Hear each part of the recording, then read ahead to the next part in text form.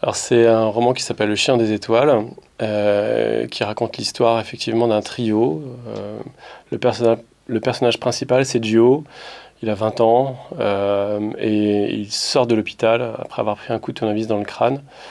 Et il rencontre dans sa famille un gamin qui s'appelle Papillon, qui est muet et qui a son propre langage des signes. Et Dolores, Dolores elle a 16 ans et en fait voilà, elle est un peu piégée par le rôle qu'on essaie de lui imposer, qui est, d'être un peu une jolie poupée.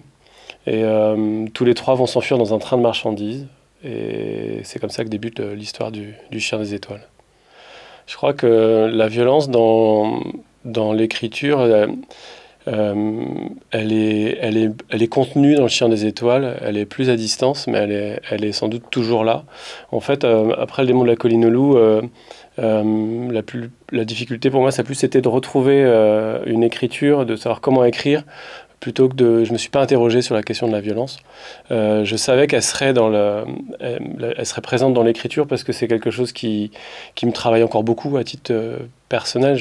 comment on explique la violence dans le monde et entre les, entre les individus. Mais je crois qu'il y a un, effort de peut-être plus important pour euh, euh, que la poésie soit plus forte que la, que la violence dans le texte. Il y a sans doute plusieurs liens euh, entre les deux romans, déjà dans les thèmes abordés, la candeur des personnages, le fait d'avoir des personnages comme ça qui sont un peu marqués par un destin qui les déborde, mais eux se tiennent toujours dans une sorte de détermination, de volonté sincère pour, pour réussir ce qu'ils ont à réussir dans, dans, leur, dans leur temps de vie. Et peut-être le, le une certaine foi en la poésie et en, l'art pour répondre un peu aux, difficultés du monde. Euh, et effectivement, il y a un, lien plus direct euh, à la fin du Chien des Étoiles euh, en direction de la colline mais pour moi, ce n'était pas un lien de texte à texte, c'était plutôt... je pense que dans mon travail, la colline c'est devenu l'espace du mal, l'espace symbolique du mal, et c'est là où je vais un peu euh, affronter des choses quand j'écris, c'est là que je me, situe. Donc c'était plutôt pour moi, je pense, un besoin de, cerner mon espace de travail euh, que de faire un, rappel direct ou simplement euh, de fiction d'un texte à l'autre. Ça a été compliqué d'écrire après le démon de la colline loup parce que j'avais effectivement écrit ce texte-là sans trop savoir ce que je faisais. Et euh, forcément, après, quand on essaie d'écrire, on, se regarde, on se voit écrire, donc on se dit, bon, euh, euh, il faut que j'écrive, qu'est-ce que je dois faire? Donc, effectivement, il y a sans doute... j'avais du mal à écrire parce que j'avais plein d'injonctions en tête sur ce qu'il fallait que je fasse, que je fasse pas.